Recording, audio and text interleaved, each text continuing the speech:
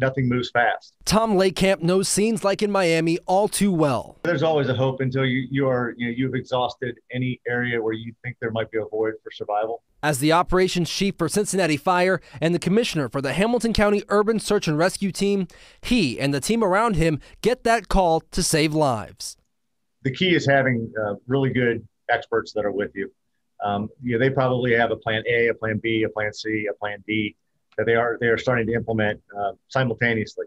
Back in December, his team responded to a deadly collapse of an old plant. Their response paid off. The uh, Killen collapse, we were able to you know, rescue um, one of the workers uh, within the first you know, three hours. We were able to, to, make that rescue, and that does a lot for morale. Lakamp says the tragic incidents of Miami and Adams County are different because of the construction methods and possibility of open areas for survival.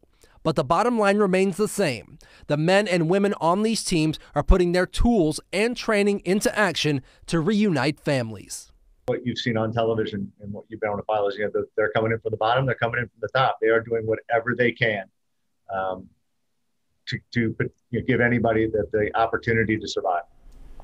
Lakamp tells me the urban search and rescue team here is made up of about 125 members from fire departments across the region. And you can hear our full conversation on the Beyond the Studio podcast, which is out right now. Stephen Albritton, WLWT News 5.